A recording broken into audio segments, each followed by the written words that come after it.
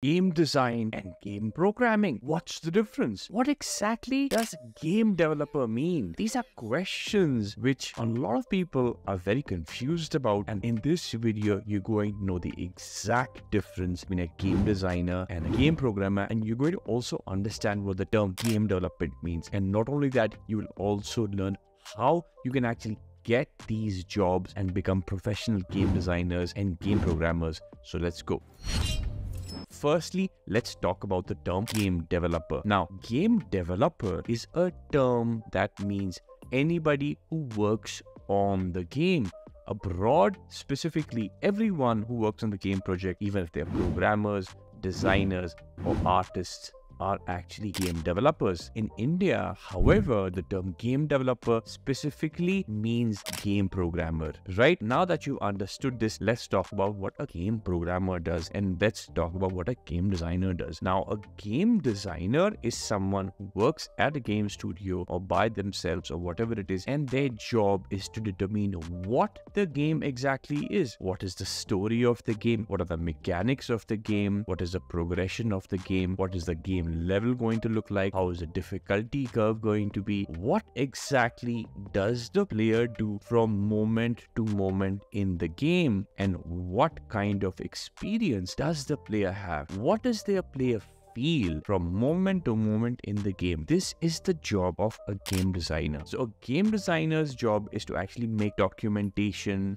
write down, make sheets, make Excel sheets, make make Word documents, and actually firstly understand what exactly the game is and then explain that to the remaining team members. This can be done by means of meetings, by documentation, by calls, by talking to people, whatever. Right? We'll come back to that later. Next, let's talk about game programming. A game programmer's job is to code. A game programmer needs to understand what exactly happens in the game. So, for example, the game designer will say, All right, so this character will spawn at this point. If you press the right arrow key, this character will start moving across the screen. And in the middle, if you press the space bar, then this character is going to jump. If you press space bar two times, this character is going to go jump two times. And this is a height that the character is going to jump. That's what the game designer will tell the game programmer, and then the game programmer will actually write all the code to make that happen, right? So fundamentally, game programmers follow the lead of game designers and they implement the game as the game designer determines. To do that, the game programmer usually uses a game engine such as Unity or Unreal or any other game engine, right? Now, also what happens is that a lot of people who do not know coding can actually make games such as Unreal. So in Unreal, you can actually build games by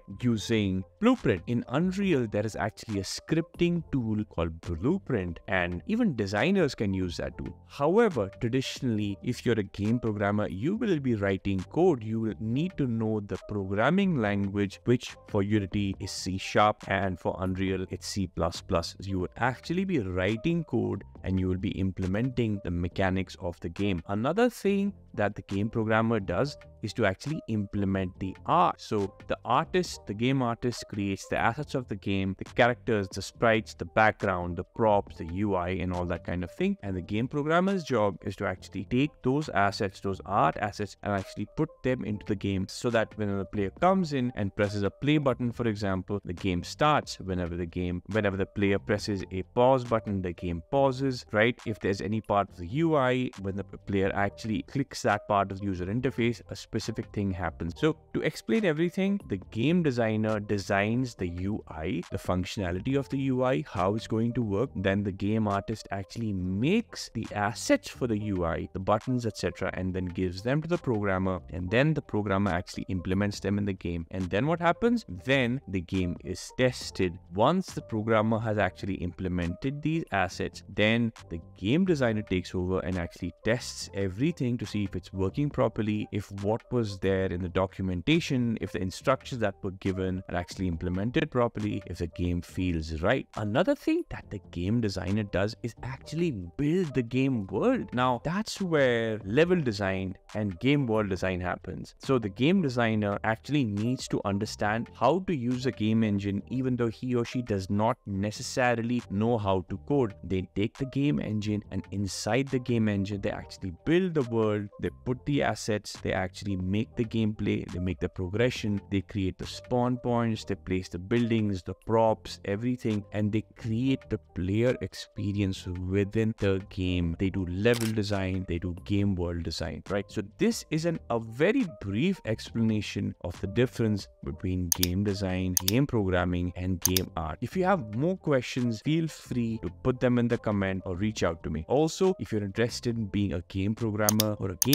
designer or a game artist for that matter, do check out gamer2maker.com, India's number one online game school, fully recognized by the Government of India, MESC.